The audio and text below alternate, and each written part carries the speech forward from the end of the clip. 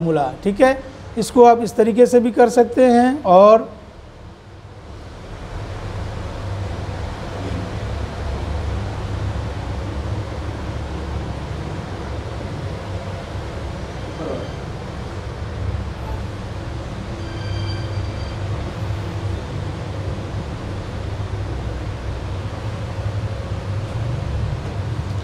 ये देखिए, यहाँ से एक फ़ंक्शन मैंने यूज़ किया। चलो, ये बाद में आपको बताऊँगा। कि इसने इन जितने भी मैंने लिखे थे उनको एक बार कॉपी किया और जितना एरिया मैंने सेलेक्ट किया, उसको इसने फिल कर दिया। क्या कर दिया? फिल कर दिया। जितने भी मैंने लिखे हुए थे, वही चीज़ इसने नीचे लाई। एक फार्मूला आपका यहाँ पर लगा, जो यहाँ से लेकर लेफ़्ट टू राइट इसको सम कर रहा है, ठीक है? और एक हम फार्मूला लगाएँगे यहाँ पर। इक्वल सम ब्रैकेट शुरू। एरो की की मदद से मैं ऊपर जाऊँगा। या मैं नीचे से भी शुरू कर सकता हूँ। यहाँ से शिफ्ट पकड़ के मैं ऊपर चला गया और जहाँ तक मेरी रेंज है, मैं इसको रेंज दे दूँगा ब्रैकेट क्लोज कर दूँगा और इंटर कर दूँगा तो ये इसको प्लस कर देगा। आ रहा है समझ में? अब एक और चीज़। अब मुझे बार बार फार्मूला लगाने की ज़रूरत नहीं है। मैं क्या करूँगा? इसको कॉपी करूँगा और यहाँ पर पेस्ट कर दूँगा। जब आप ये वैल्यू कॉपी नहीं होगी क्योंकि वैल्यूज़ ऑलरेडी उसमें आ रही हैं। यहाँ फार्मूला कॉपी हो जाएगा। क्या होगा? फार्मूलाज को क्योंकि यहाँ फार्मूला लगा हुआ है। अगर फार्मूला नहीं लगा होगा तो वैल्यू कॉपी होगी। अगर फार्मूला लगा होगा तो वैल्यू नहीं होगी, बल्कि फार्मूला कॉपी हो जाएगा। इसी तरीके से मैं यहाँ भी पेस्ट कर देता हूँ। यहाँ भी पेस्ट कर देता हूँ। और यहाँ भी पेस्ट कर देता हूँ। देखें, इसने सबको नीचे जो है वो टोटल कर दिया।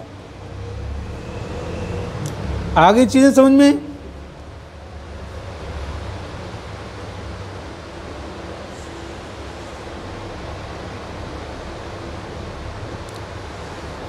हम इसको हटा देते हैं ठीक है?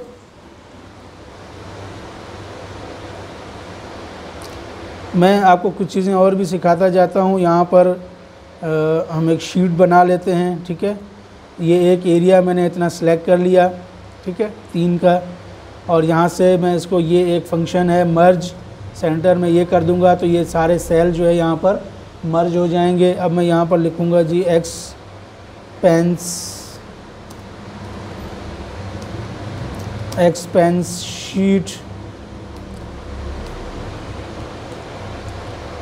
ठीक है, और इसको मैं सॉरी यहाँ से मैं इसको जो है वो बड़ा कर सकता हूँ।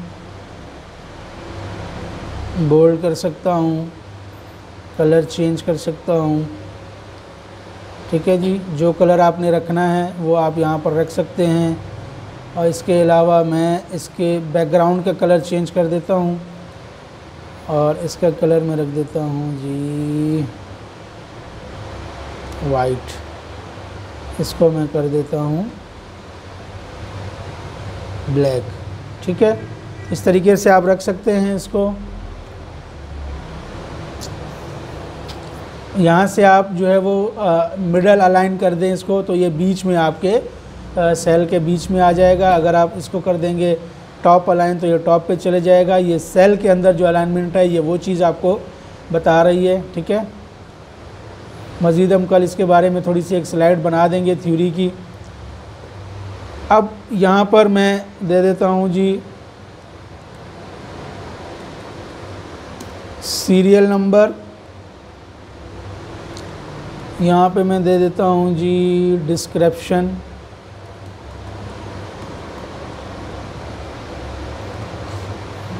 ठीक है, इसको मैं यहाँ से जैसे बड़ा करूँ यहाँ पर आप क्लिक करेंगे तो ये इसके जितना बड़ा हो जाएगा, ठीक है? डिस्क्रिप्शन आ गया आपका। यहाँ पे आ जाएगा आपका डेबिट डेबिट समझते हैं? Credit balance. क्या होगा? डेबिट, क्रेडिट एंड बैलेंस, ठीक है? डेबिट क्या होता है? देखिए, ये अकाउंट्स की चीज़ें जब आप सीखने के लिए जाते हैं तो आपको पता चलता है कि डेबिट क्या है और क्रेडिट क्या है। अकाउंट की ज़बान में क्रेडिट वो होता है जो आपके पास जमा होता है। क्या होता है? जो जमा होता है, ठीक है? जो आ रहा होता है। और डेबिट क्या है?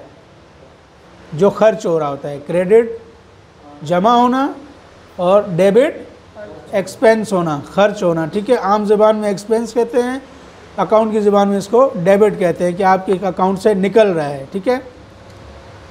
अब यहाँ पर देखें, सबसे पहले कोई भी चीज़ जब आप शुरू करने जाते हैं तो आपके पास एक अमाउंट होती है, उसे हम कहते हैं ओपनिंग बैलेंस क्या कहते हैं?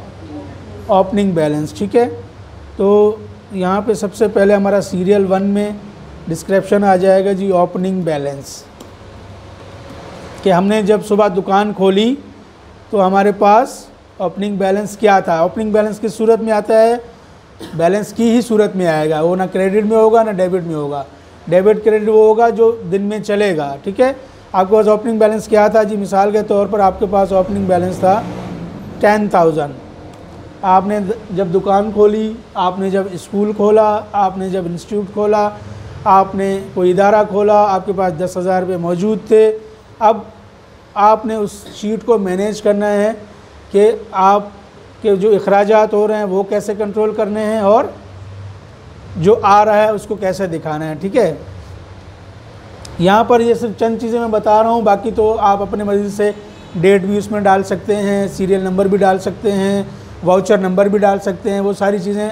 यहाँ सिर्फ़ मैं आपको हिसाब किताब का बता रहा हूँ कि फार्मूला कैसे काम करेगा। अगर आप आप एक एक्सपेंस शीट या एक लेजर टाइप की शीट जो शीट जो है वो बनाते हैं। एक तो ओपनिंग बैलेंस हमारे पास आ गया, ठीक है? दूसरा, हम मिसाल के तौर पर मैं इंस्टीट्यूट की बात कर लेता हूँ जी। Admission fee admissions fee admission के जो फ़ीस है, वो कितनी है? आई हमारे पास, क्योंकि फ़ीस जो है, वो क्या होगा? आएगी। तो किसमें डालेंगे हम? क्रेडिट में। कि जी, मेरे पास 2000 आज एडमिशन फ़ीस आ गई। है, क्या हुआ? 2000 एडमिशन फ़ीस आ गई। अब यहाँ पे जी मेरा एक्सपेंस हुआ, जिसको हम कहते हैं पेटी कैश पेटी कैश में जो डेली के एक्सपेंसेस होते हैं, वो सारे हम पेटी कैश में रखते हैं, ठीक है? चलो पेटी कैश हम नहीं रखते, वो तो